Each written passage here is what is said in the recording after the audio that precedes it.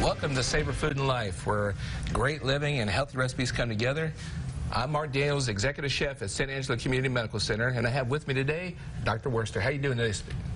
Doing all right, Doc? Very good, sir. Mark, it's good to be here. Top of the morning to you. Ready to get started. Hey, you're no stranger to the uh, to the show, so um, I'm glad to have you back on. And and uh, just to refresh everybody, where can they find you? Uh, good, great question. Uh, right now, I practice medicine at 5730 Sherwood Way, which is a it's a walk-in clinic, but I do also do family medicine there as well. Great. So you have one-stop shop. They can find you. Easy location. Everybody knows where that clinic's at. So absolutely, we're going to do a lemongrass chicken. Beautiful. So I hope you like lemongrass, cause or chicken, cause they're both together, and that's what we're doing. Let's get started. All right. This is this is pretty easy. I'm going to have you make a marinade uh, for the chicken. And you're going to add everything into this blender, and we're going to make a little marinade with it. So you have a uh, little uh, garlic and some ginger. Helps lower the blood pressure and increase your immune function. Hey, that's perfect for you, right? And it tastes great. It smells great, too. A uh, little lime juice, some shallots. Ah, shallots. And you got to have a little bit of heat, right? A little bit of capsaicin in there, right? Oh, absolutely. That helps with inflammation.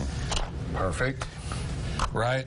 And then, even though uh, that's a little you know, smelly at times, but it's the fish sauce, right?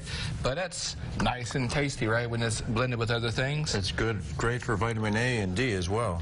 A little salt and a little pepper. Uh, just a little bit, though, not too much. No, sir, no, sir. Just a little bit in moderation, right? Absolutely. And then some olive oil. Olive oil is good for you, right? Absolutely. Okay, and then we're going to put the lid on that and give that a little there you go. That's perfect. You just want to get it together almost like a, a paste. And then we're going to add it into uh, our chicken here. And normally we would like to have it go for about 15 minutes or so, but hey, this is real TV, folks, all right? So sometimes gaskets come off blenders, but thank God we have the uh, marinade for it. So we're going to add it to the, uh, the chicken. Yeah. There we go. You're going to add it to the chicken, and normally I'd say marinate it for 15, 20 minutes minimum, okay?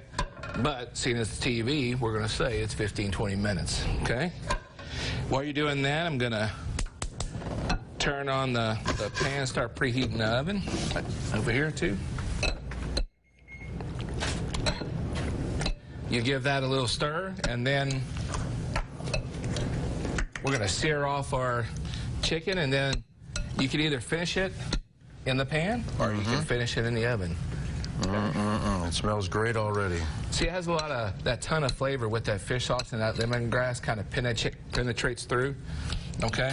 Cooking time varies depending on thickness of chicken. I like to get the the the chicken that's nice and thin so that it penetrates a little bit deeper and you have a more of an even flavor through it. All right. I'll take it from there, and I'm going to sear this off. So you like, this is the kind of stuff that you eat at the house because this is the kind of stuff that we eat at my house. We love Asian flavor, Pacific Rim uh, type foods. Absolutely, fan. It's a fantastic recipe. You have their uh, low in saturated fats, and obviously it's got a great flavor. Okay, so Not as to mention this, the proteins. As this starts to, to cook, we're going to add a little bit of lime juice to it, right? A little acidity helps to tenderize. Mm -hmm. Okay. And then uh, the next beautiful thing through TV, right, is that I have some ready for you to go. Right. Mm. So you can smell that coming right out of the oven, right? Absolutely. And the, the beautiful about, thing about this is you can use it for different applications. You can use it as the main entree with uh, sauteed spinach or uh, whatnot, or you can put it on a salad. So we're going to set it up on a little salad for you.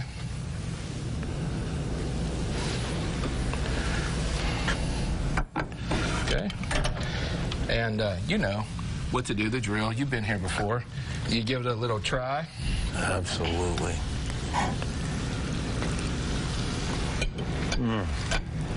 Can you taste all the flavors in there kind of penetrating through in it?